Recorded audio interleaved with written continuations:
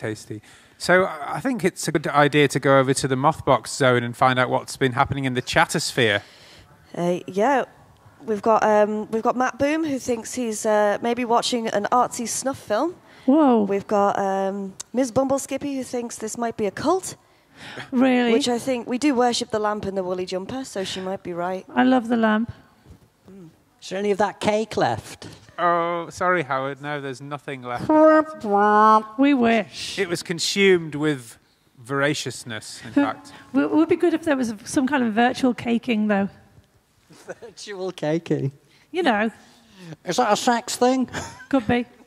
Um, so, uh, yeah, anybody out there that actually is joining in with the moth making, by the way, now might be a good time to sort of put some chat up about what you're making. Perhaps We didn't even really suggest for you to do that, which I think you could be doing that because it's, it's a lengthy show.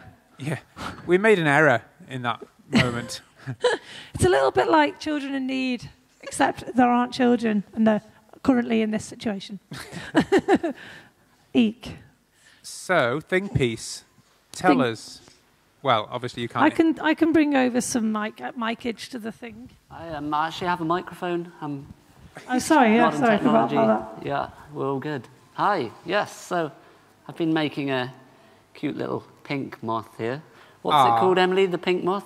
I thought, oh, I gave it a name, Rhonda. What's its name? Schnazzles? Schnazzles. Schnazzle moth. That's its Latin name, eh?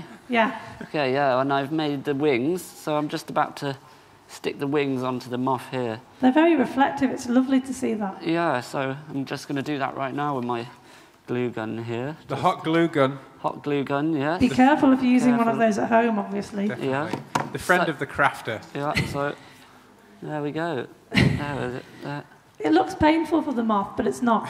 It is actually a little bit painful. There was for a the bit of smoke coming off it, It's wasn't there? very hot, the glue, but there we go. Don't smoke. So now I just need some. Some, watch uh, out. Yeah, I need some legs for this guy. And then he can sit on the moth tree.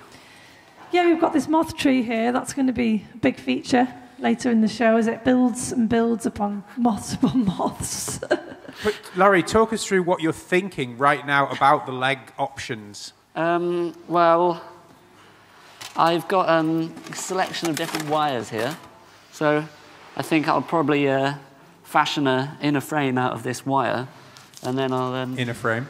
yeah, then I'll cover it with a bit more of this pink fur here. Fur. Yes, and no more, no less. that's it. That's my plan. Great. That's lovely. So